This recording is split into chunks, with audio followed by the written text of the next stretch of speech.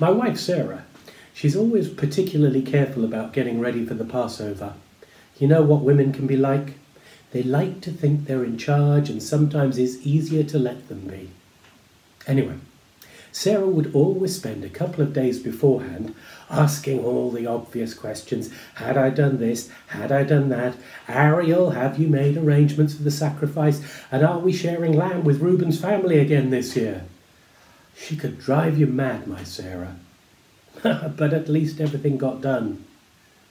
So I was a bit surprised that evening when someone came down from the upper room. I was even more surprised when I realized that it was him, you know, Jesus. Although perhaps I shouldn't have been. He wanted a bowl and a towel. I was a bit taken aback actually. Usually everything you need for the Passover is ready. Sarah sees to that. I wondered what sort of a bowl I should give him. It didn't seem him right to give him the ordinary bowls that we use every day. I had three of them. They were all plain clay, undecorated workaday earthenware, chipped and stained. They were used for everything.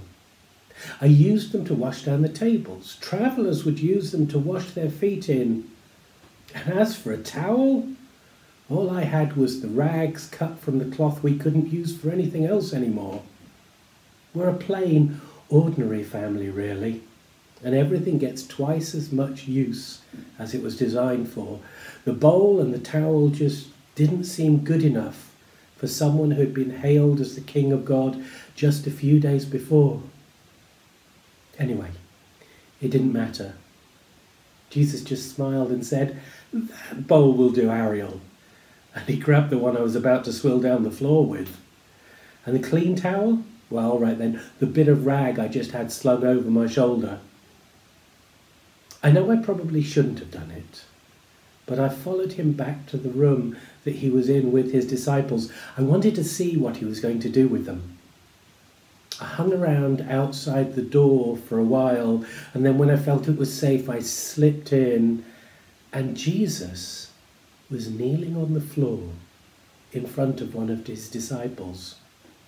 I think it was Simon Bar Jonah, the fisherman. And he was actually washing his feet. There, there'd obviously been some sort of fuss about it, and Simon was looking a little uncomfortable. No wonder, really.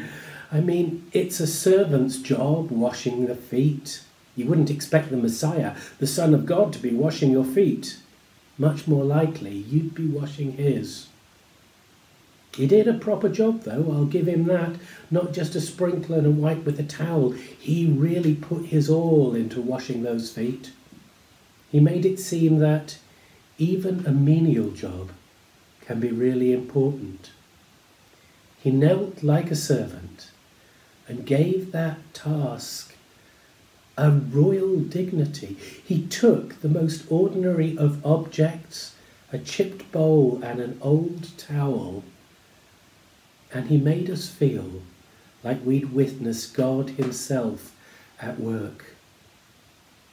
And although what He did was a picture of humility, it was us who felt humbled by His simple goodness.